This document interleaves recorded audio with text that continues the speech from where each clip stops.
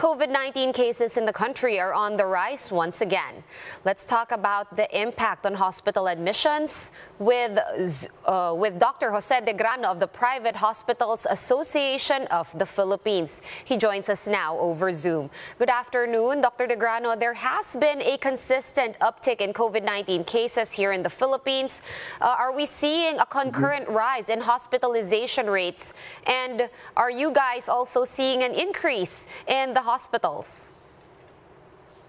Uh, yeah, yes, of course, we, we noted an increase uh, in the number of cases of COVID right now. But uh, while trying to monitor the uh, hospital uh, utilization of our private hospitals, there is very a slight increase only in the number of cases admitted. So most probably the symptoms uh, uh, being given by these uh, new cases are just mild to moderate and they just wanted to know, they, they just stayed at home or for self-quarantine. All right. Would you know, uh, Dr. De Grano, which areas or regions are seeing the most uptick in cases or COVID-19 admissions, if any? Aside from uh, NCR, there are some cases uh, uh, in Region 3 and Region 4 and some in uh, the Visayas uh, area. Yeah. All right. Um, so as we know, a lot of these uh, cases are driven by Omicron subvariants, not just here, but around the world.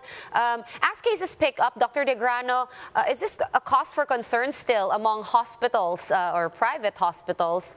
And are you still preparing yourselves for, you know, an event such as a big, big surge that we have seen in the past two years?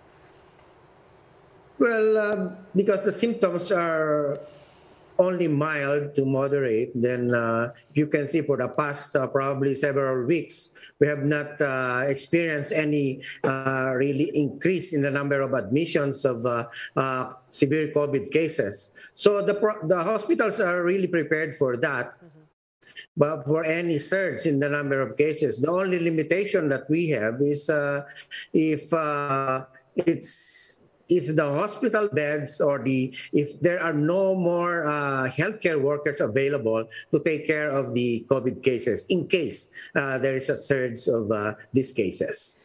That's right. Well, as we all know by now, um, hospital occupancy rate is among the metrics that are being considered when you know the government adjusts the alert level status. At this point in time, do you think it's time to escalate to alert level two? A lot of people, you know, especially online, have been talking about this. No, I don't think so. Right now, uh, if we try to monitor the admissions in the private hospitals, there's just a very slight increase in hospital utilization rate. So that means that the most of these cases just uh, are being managed at home or by self-quarantine. Right. Um, let's talk about something other than COVID-19, Dr. De Grano. There's also been a lot of cases of non-COVID um, admissions going up in hospitals mm-hmm. right now. Can you tell us the situation on the ground? The other non-COVID cases, of course, aside the, the, the infectious cases, uh, they noted there increase. Uh, there is a noted increase in the number of uh, dengue cases, especially in the Visayas, also in some areas in uh, in northern Luzon and uh, in southern Tagalog. But then, uh, of course, uh, we'll have to take note of the or keep on monitoring regarding these cases. This is not an infectious one like uh, COVID. You know, this is uh, caused by a, a mosquito vector, not really infectious. All right, and you also have been mentioning many times in the past, Dr. De Grano, that some of our healthcare workers have still not received their COVID-19 allowances mm -hmm. from the government. Do you have any update on this? Yes, that's the, the real problem that's uh, actually uh, being experienced by our healthcare workers now.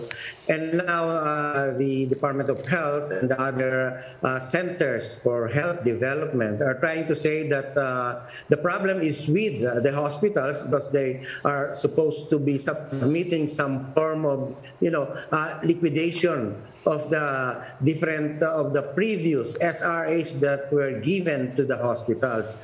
But uh, they were they are only saying that now, and you know uh, that's the problem because uh, that was not part of the guidelines that were given before the OCA or the one COVID allowance was uh, announced to these hospitals. And so we, we're trying to tell them that uh, if there are really some funds that are that needs to be liquidated, then they have to submit this or they have to talk to their own uh, centers for health development.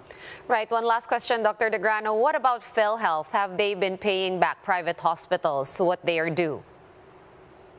Well, in spite of the fact that uh, there are still a lot of, uh, of uh, uh you know, uh, denied claims that are not being paid, slowly they are paying us. So in some hospitals that have experienced almost uh, less than 50%, now they are saying that they are being given around more or less around 70 to 80%. Uh, despite it being very, you know, you know, uh, what they call is patak-patak only, you know, uh, very slowly. But then at least uh, they're receiving uh, some reimbursements from PhilHealth right now.